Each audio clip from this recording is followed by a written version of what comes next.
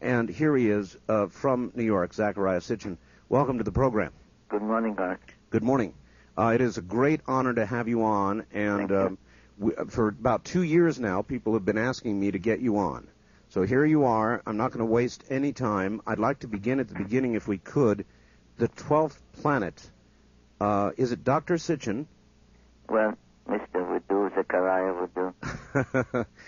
um, what is, in a nutshell, if you can do it, the theory of the 12th planet? What is the 12th planet? Well, you just said that not to waste time, you want to start at the beginning.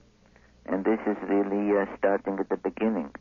Because according to uh, uh, ancient texts that have come to us from Mesopotamia, today's Iraq, going back almost 6,000 years, they uh, provided us with a cosmogony dealing with how the solar system came into being and tell us that soon after the solar system, uh, where we are, our part of the universe, as soon as it uh, came into being about four billion or so years ago, an invader from space, a planet ejected from its own solar system somewhere else, was passing by, was drawn into the center of our solar system, uh, had a collision with another planet that existed at that time between Mars and Jupiter. In that collision, half of that other planet uh, was smashed into bits and pieces, became mostly the asteroid belt that still uh, orbits between Mars and Jupiter. Part of it became uh, a comet that visit us from time to time, and some of those comets are in the news. And the other half of the destroyed planet was uh, shunted or thrust into a, a, a new orbit and became our planet Earth.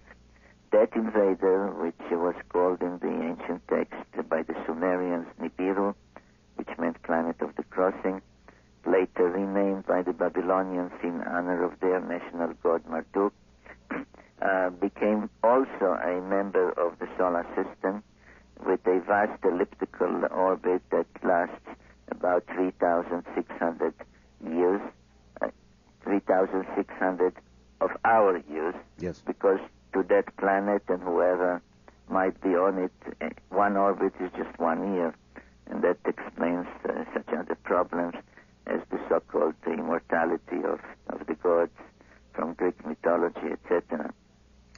So that planet uh, became uh, a member, and according to the Sumerians, the 12th member of the solar system because they counted uh, the sun. They said this is the family of the sun.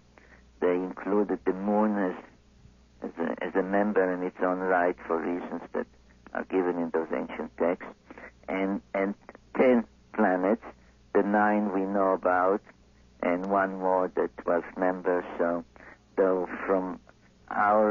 astronomical viewpoint, it would be the a tenth planet. It is the, the planet which is the twelfth member.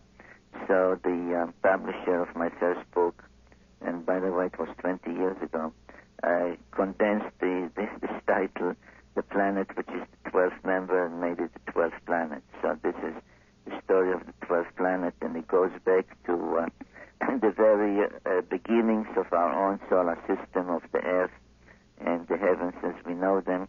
And this is really the shores of the biblical tale and the beginning of the book of Genesis. When do you believe this 12th planet will return? Well, first of all, let me say I believe that uh, it will return because this would be a fulfillment of all the prophecies uh, in the Old Testament and the New Testament and uh, in the writings, uh, the Holy Scriptures of, of other uh, nations in antiquity. What is the best estimate of its return time? Uh, well, uh, can we go to the next question? yes, we can. Okay. Um, there is um, a comet that has been discovered by two amateur uh, astronomers, Right. now named Hale-Bopp. First thought to be as big as a thousand miles across, now thought to be at least a hundred miles across, with a dust cloud about it, uh, 2.5 million kilometers wide. It's big, very, very big, out beyond the orbit of Jupiter. They have calculated its return time, very interestingly, at about 3,600 years. Is there any correlation? Uh, probably, but let me uh, explain why. Uh, the orbit of uh, Nibiru, as the Sumerians called it, that other planet, uh, which uh, is uh, given by them mathematically as 3,600 years, Mhm. because these orbits uh, shift, you know, even uh, Halley's Comet, which has a short period orbit of some 75 years, is sometimes 75, sometimes 77, because as the celestial bodies travel in our solar system and are affected by other planets, uh, the, the orbital period changes slightly. So 3600 is a mathematical number that can shift a little either way. Uh, has a retrograde orbit. Now, all the members, mostly, virtually all the members of our solar system, in due to the way they were created, orbiting from some kind of uh, nuclear or nebular cloud around the sun and then coalescing, orbit in, in what um, we call a counterclockwise direction. Mhm. Nibiru orbits in a clockwise, and thus called retrograde di- direction, Right. and and thus the collision because when one planet, the older one, orbited one way, Nibiru came in another way. There was a collision. So first of all, this is a, a, a retrograde orbit. Second, according to the uh, biblical prophecies, and I deal with them especially in my book Genesis Revisited, which you uh, so kindly mentioned, uh, it will appear, or at least according to expectations in biblical times, it would appear when it does return in the um, constellation of Sagittarius. Which is where Hale-Bopp N- is. Right. okay.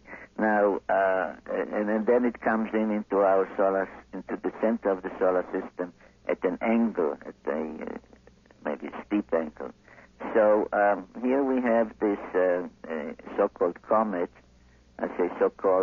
I say so-called because nobody's really sure what it is. You're right. That uh, was first discovered by the two amateur astronomers, which, by the way, says a lot uh, for uh, so-called amateurs who have discovered more than the regular uh, astronomers. It is true. Uh, that it it it appeared uh, beyond uh, almost where, where Neptune is, and it was already extremely bright. Now, as you obviously know and your listeners know, the comets uh, attain the, the, the head or the coma and the tail and become visible uh, only when they near the sun Yes. uh, because then it's then when they begin, uh, the material begins to evaporate, etc.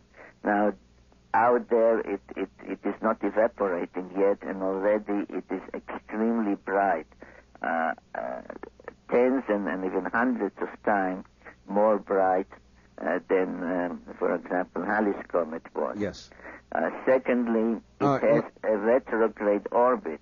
But let me stop you for one second and ask you if it must be near the sun uh, for this brightness uh, to be apparent because of the evaporation of the snowball or whatever it is that Right. think comets have. Then where is the energy coming from now to create this brightness? Well, okay, that's one of the enigmas. So that's why I say so-called comet, because uh, a normal comet does not become that bright uh, at all and does not become that bright that far out.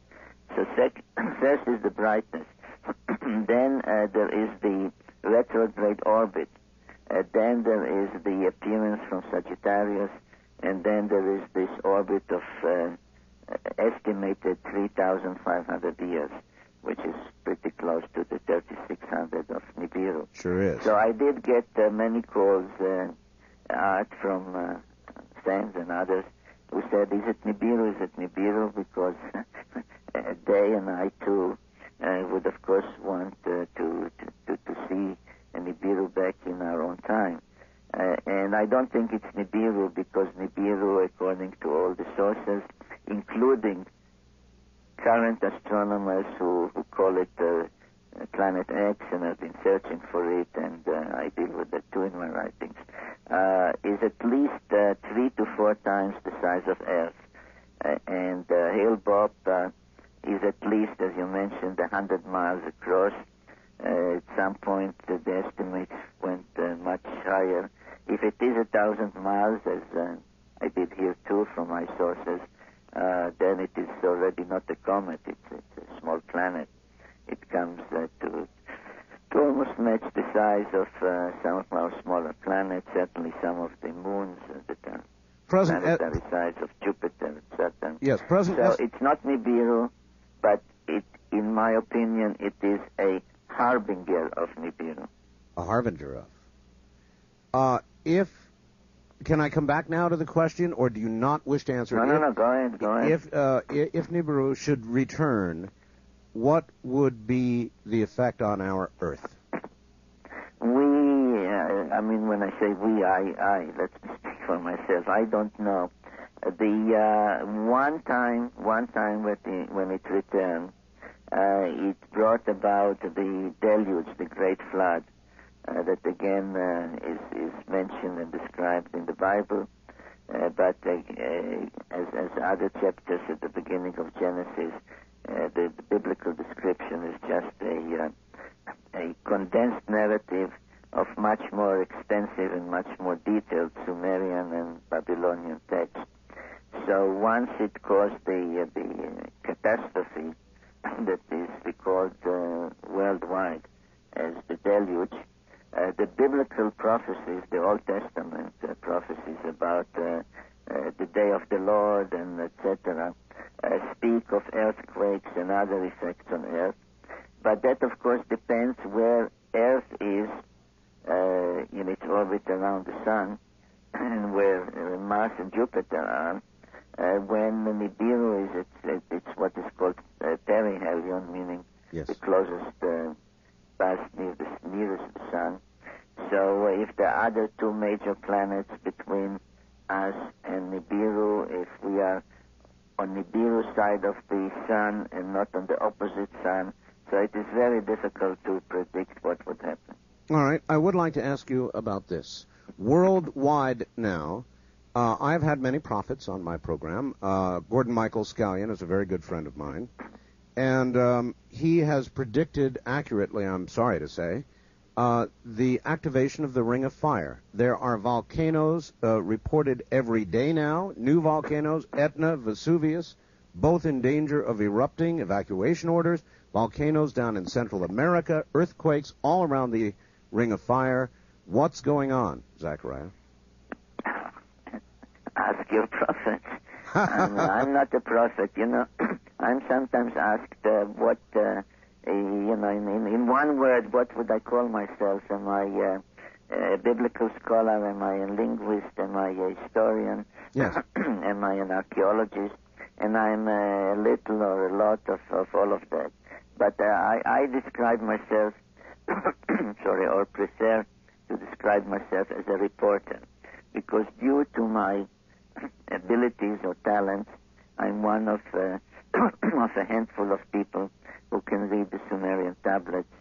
Uh, so due to, to what I devoted my lifetime to, I'm able to report to people today what the ancient peoples knew and witnessed. And what they knew uh, art was amazing because they knew about the complete makeup of our solar system, which is more than we knew about a 100 or 150 years ago. Uh, they knew of and described Pluto, which we have discovered uh, 65 years ago. That's all. Uh, so they knew that uh, their mathematics was uh, incredible. Uh, some tablets deal with mathematical calculations uh, to the eighth to the eighth degree, uh, and and so on and so on. I mean, the So it is Sumerian your- civilization is amazing. It is and if your- you it- ask them, how could they know that? I mean, how would you know that without telescopes and microscopes? Yes. They said all that we know was taught to us by the Anunnaki. Now that word in Sumerian literally means those who from heaven to earth came.